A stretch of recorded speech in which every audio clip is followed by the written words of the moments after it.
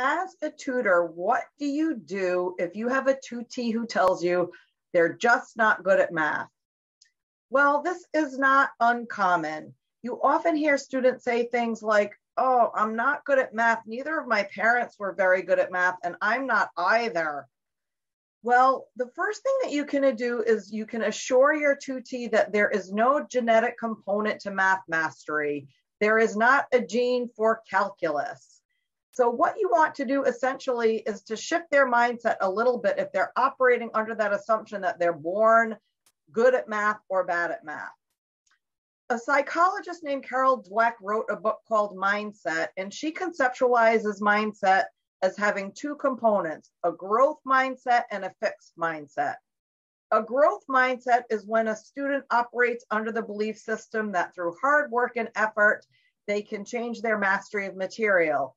A fixed mindset is when they believe that they're born with a certain amount of intelligence. So that's why it's not uncommon to hear a student say, I'm just not very good at math.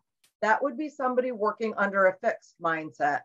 Somebody working under a growth mindset would say something like, I know through hard work and effort, and if I use my tutoring center and if I go to my professor's office hours and I go see my tutor, I can really increase my intelligence and mastery of my math material.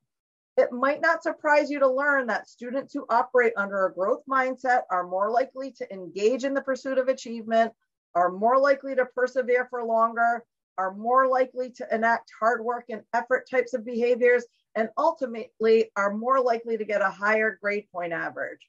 So, as a tutor, if you have a student who says, I'm just not good at math, you should gently challenge their mindset and maybe even tell them about Carol Dweck's concept of a growth mindset versus a fixed mindset. Ultimately, if students operate under a growth mindset, they are more likely to be successful not only in math, but any other subject area.